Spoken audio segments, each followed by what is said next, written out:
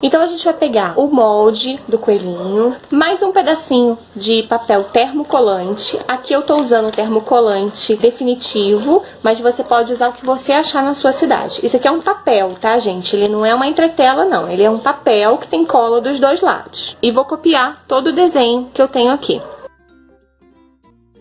Vou pegar um tecido que eu queira utilizar para o projeto e vou posicionar aqui em cima. E vou pegar o ferro e vou passar. Lembrando que, olha só, eu vou botar o avesso do meu tecido para baixo e vou aplicar ele em cima para passar, tá bom? E o tempo que você vai usar, isso pode variar de acordo com o fabricante do papel que você está usando. Então, sempre é bom você conhecer o papel que você está usando. Agora, você vem e corta em cima da, do risco que você fez. E assim eu já tenho dois coelhinhos para usar no meu pano de copa. Lembrando que aqui o meu tecido master que eu estou usando é esse estampadinho aqui. Então é sempre bom você buscar cores que você tem no seu tecido master para você complementar o seu trabalho sempre que você for utilizar retalhos, porque assim você vai ter um trabalho bem harmônico e bonito. Então agora eu vou deixar essa parte separada que a gente vai medir a barrinha. Aqui eu já tenho um pano de copa já com a barrinha feita. Esse daqui é lá da JP Teixo. Ele já vem assim, olha, eles até vendem um kit lá um amarradinho com vários, que é muito bom esse pano de copa. Aí eu separei, olha, faixas de tecido. Geralmente quando eu tenho um tecido que eu gosto, antes de eu começar a cortar o tecido, eu sempre corto faixas e deixo no meu baú de retalhos, porque isso é legal para quando você precisa fazer um trabalho assim, olha, de faixas. Porque isso aqui, bem ou mal, é um retalho. E é um retalho daquele tecido que eu gosto, então eu sempre faço isso. É uma boa dica para você também. Então aqui, olha, eu tenho uma faixa que ela tem 20 centímetros a mais do que o tamanho do meu pano de prata. Então aqui meu pano de prata tem 50 e essa faixa aqui tem 70. E eu cortei na altura que se eu dobrar, ela vai ficar com essa largura aqui, olha, o meu babado. Então, ela tem 8 centímetros de faixa. Então, tem 8 por 70. Por que, que eu cortei ela com 70? Porque eu quero ele franzido, então ele vai ficar no tamanho bem bacana pro meu pano de copa. E esse daqui, olha, que eu usei o tecido master, eu não tinha ele na espessura que eu queria, que no caso era para fazer dobrado. Então eu cortei ele com uma largura de 7 centímetros, dobrei, fiz uma dobrinha aqui, olha, dupla, fiz um pontinho decoradinho na minha máquina de costura e também fiz esse franzido aqui em cima, que é o que eu vou mostrar para você agora como é que você vai fazer nessa parte. Então vamos para a máquina comigo. Então eu vou pegar essa parte aqui, vou colocar direito com direito, e vou fazer uma costurinha aqui, olha, tanto nessa parte quanto nessa outra parte aqui. Ou seja, eu fecho as duas extremidades do meu tecido. Aí eu venho aqui, olha, coloco essa parte aqui pra dentro, assim, fazendo uma casinha, sabe, ó, desse jeitinho, e eu viro, pra ficar com um bom acabamento aqui.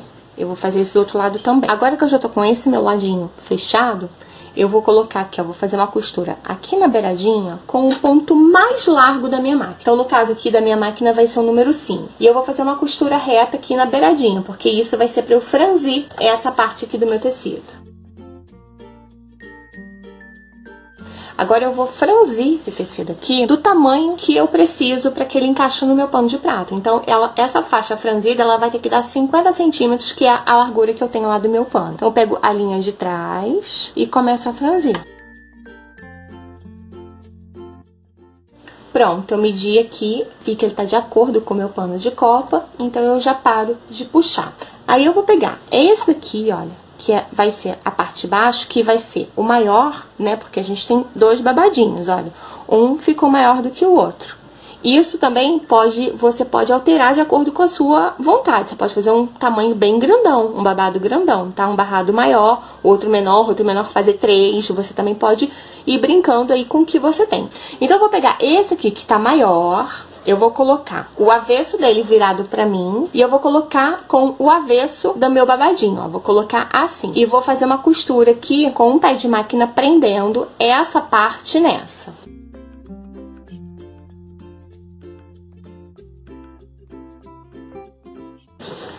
E agora, a gente vai jogar essa parte aqui, olha, pra cima. Essa parte vai virar assim, olha, pro lado direito mesmo e eu vou fazer uma costura aqui, que pode ser uma costura reta, ou se você tiver o zigue-zague, você pode botar, porque você já vai chuleando essa parte aqui, e do lado avesso ele vai ficar assim, olha, bem acabado.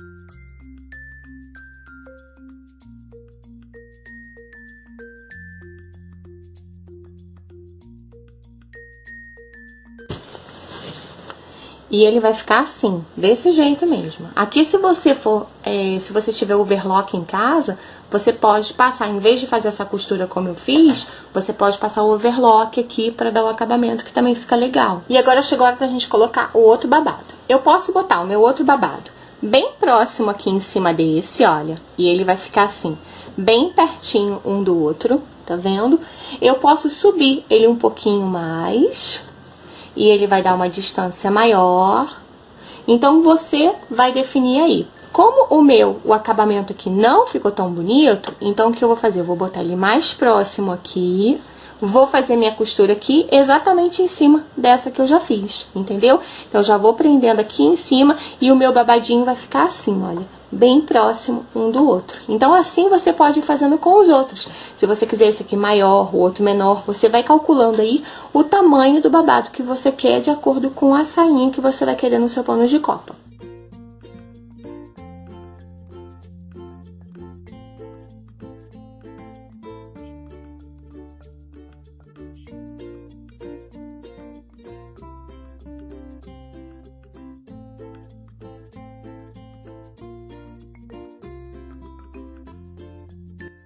Agora a gente vai dar o acabamento, né? Aqui eu quis colocar mais um detalhe. E a gente vai usar a fita de pompom. Essa fita de pompom aqui colorida eu achei bem bacana, porque como ela vai, ela vai se dividindo, então você pode ir brincando com as cores. Por exemplo, aqui as cores predominantes do meu do meu projeto, né, no caso do meu tecido master, a gente tem o verde, tem o amarelo, tem vermelho, tem laranja. Então, eu vou usar essa parte aqui, olha, que tem só até essa parte. E é exatamente o tamanho que eu vou precisar.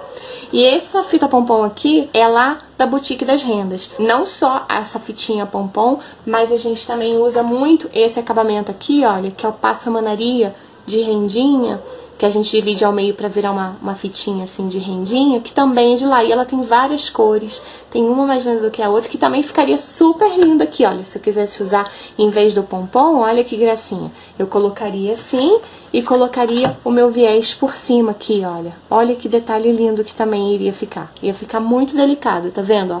Muito charmosinho, olha.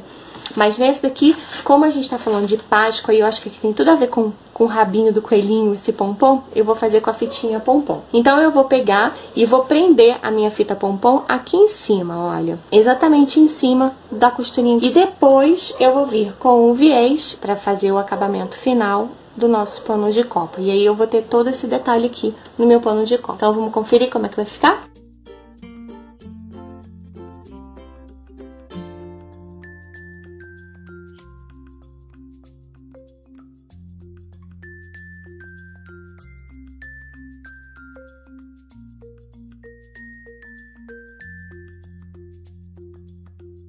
Se eu quisesse, eu já poderia terminar dessa forma, não é isso? Mas eu achei que ele não ficou tão bonito. Então, eu vou posicionar o viés. Esse aqui é o viés da Cinderela, o viés é mais estreitinho. Mas se você não tiver, pode usar o viés mais largo. Lembra daquela diquinha que eu dou, que você dobra no meio e dá uma leve esticadinha? Então, você usa ele dobrado com uma leve esticadinha. O meu aqui, eu vou usar ele aberto. Vou posicionar ele aqui em cima, assim, olha e vou passar uma costura de um lado e do outro, decorativa da minha máquina. Mas se você não tiver, pode ser com costurinha reta ou também com um pontinho de zigue-zague, se sua máquina tiver.